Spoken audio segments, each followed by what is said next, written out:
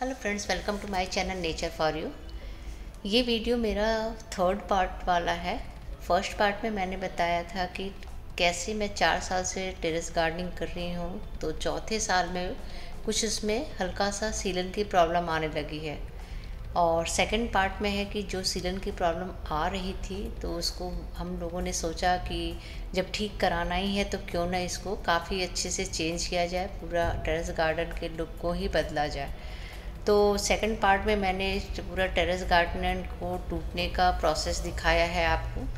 और ये third part है, इसमें मैं ये दिखाऊँगी कि इसका डिज़ाइन कैसा है, ये कैसा बनेगा और क्या क्या मैंने नेक्स्ट जो बनाने वाली हूँ टेरेस उसमें क्या क्या चेंजेस की है किन बातों का ध्यान रखा गया है।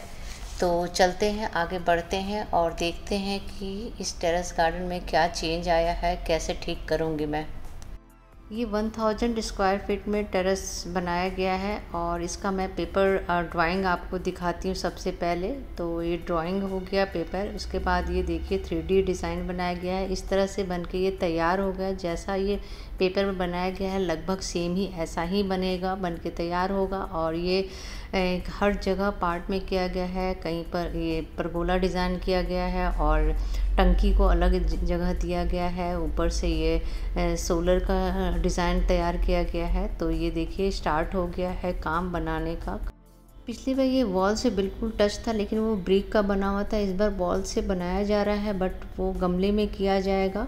और ये पूरे एरिया में टाइल्स लगा दिया जाएगा। कोई भी पार्ट में ऐसा ईंट का नहीं रखा जाएगा। टाइल्स से वाटर लीकेज का प्रॉब्लम काफ़ी हद तक सॉल्व हो जाता है। और वैसे ये टेरेस जो है लगभग 20 साल से पहले का बना हुआ है, इसलिए इसमें बहुत कुछ ऊपर से ही किया जा सकता है, नीचे से अंदर से काफ़ी तोड़ के नहीं के बनाया जा सकता था। इस वजह से इस पर कुछ वाटर प्रूफिंग और टाइल्स लगा करके पुराने जो प्रॉब्लम आ रहे थे, उसको ठीक किया जा रहा है। क्योंकि पहले जो डिज़ाइन बना था, उस समय डिसाइड नहीं था। टेरेस गार्डनिंग का इस ये मैंने कुछ साल पहले ही डिसाइड किया है। इस वजह से बहुत कुछ अंदर से इसको करना पॉसिबल नहीं हो पा रहा था। तो इस तरह से देखिए, साइड से ये भी गमलों के लिए वैसे ही बनाया जा रहा है, सेम क्योंकि ऐसे साइड बना देने से बीच में काफ़ी स्पेस मिल जाता है, उसमें आप जो भी चाहे कर सकते हैं।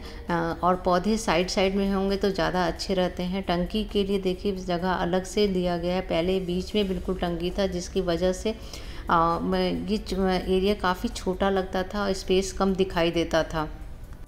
ये काम कराने में मुझे लगभग थ्री मंथ लगा।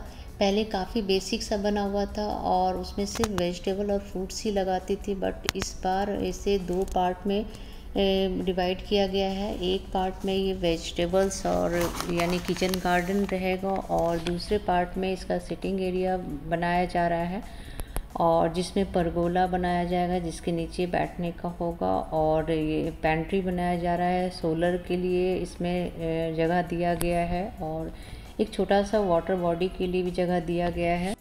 और इस टेरेस पे मैंने रेन वाटर हार्वेस्टिंग भी करवाया, पर ये पहले ही करवाया गया था, इस बार नहीं करवाया गया है। तो उसमें मैं पानी को कलेक्ट नहीं करती हूँ, उस पानी को मैं ज़मीन में प्रॉपर तरीके से जाने देती हूँ, ताकि पानी हमारा वेस्ट ना हो। इस बार कोई सीलन ना हो, इसके लिए काफ़ी कुछ तैयारी किया गया है। कोई रिस्क नहीं लिया जाएगा। इस वजह से सारी कुछ, जो भी पॉसिबल था, सब कुछ कराया जा रहा है। वाटर प्रूफिंग करवा करके टाइल लगवाया जा रहा है। और विट्रीफाइड टाइल का यूज़ किया गया है, जिसे आपस में जोड़ने के लिए ऑक्सी टाइल्स एक मटेरियल होता है, उससे जोड़ा जा रहा है, जिससे लीकेज होने की बिल्कुल चांस नहीं होती है, क्योंकि वो काफ़ी मज़बूत होता है। उन टाइलों के बीच में से कोई भी, ज़रा भी कहीं पे गैप नहीं छोड़ता है। तो उससे सीलन की या पानी नीचे जाने की प्रॉब्लम नहीं आएगी। और ये टाइल जो है, दो कलर में रखा गया है। लाइट और डार्क का सेट बनाया गया है। वो अकॉर्डिंग टू डिज़ाइन तो और इन सब काम के बीच में पौधों को बचाना एक बहुत बड़ा टास्क था मेरे लिए। बहुत मुश्किल से बचा पा रही हूँ पौधों को। बाद में फ़ाइनल देखती हूँ कितना बच पाएगा। शायद इसमें से कुछ ना कुछ मुझे पौधों को खोना पड़ सकता है।